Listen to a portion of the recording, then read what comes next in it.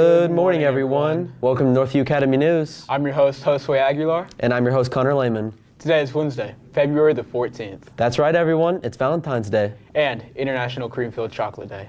What?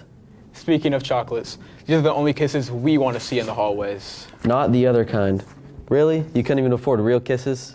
Valentine's is the day of love. Speaking of love, Mr. Puckett would really love and appreciate any school appropriate and funny submissions for the senior video. If you have any, please feel free to send them to Mr. Puckett through email at coreypuckett at severe.org.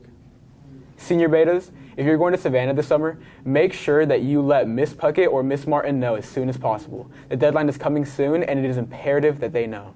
Speaking of beta, the Junior Beta Club is hosting a soup night on February 16th with Pottery House's tomato basil and corn chowder to choose from.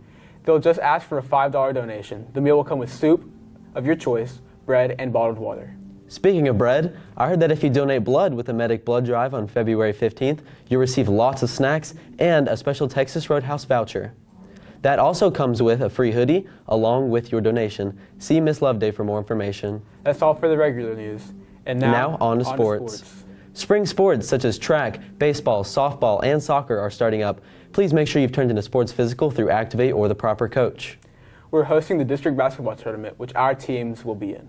So make sure that you come out and support your Cougars in light of a state run. That's all for today. Thanks for watching. Go Go Cougars!